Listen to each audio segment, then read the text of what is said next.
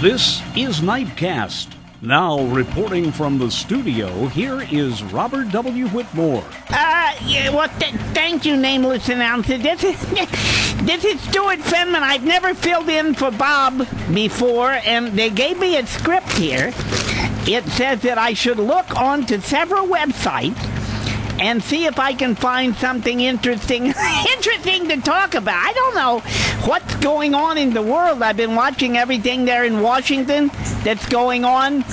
And I, I could, I, I, it's, it's just a big gray matter. There's nothing, nothing there that is worth reporting.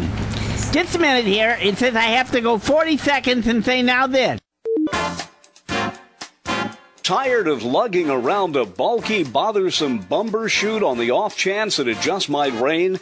Now, from Instabrella Industries comes the exciting new Space Age, just the way you like it, done to a turn product of the millennium. New Aerosol Parasol. Aerosol Parasol sprays a thin protective coating on you and everything you love.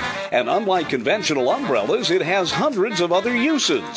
Vinyl top of the car looking dingy? Spray on a coat of Aerosol Parasol. Protect precious plants from early fall frost with a coat of Aerosol Parasol. Aerosol Parasol won't harm fine fabrics and washes off with just plain water. Aerosol Parasol is available at every other 7 Eleven. Listen weekdays at this time for Nightcast with Robert W. Whittmore. This is the Shrevekman Radio Network.